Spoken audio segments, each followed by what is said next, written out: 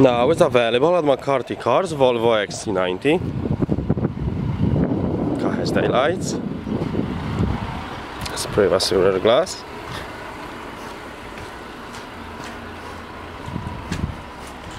Car has rear parking sensors. Has reversing camera. Full leather interior.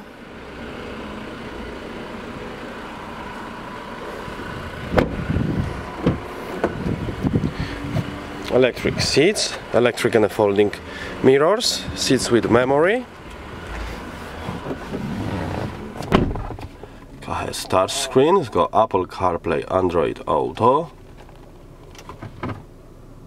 Reversing camera. Heated seats, heated steering wheel. DAB radio, Bluetooth audio.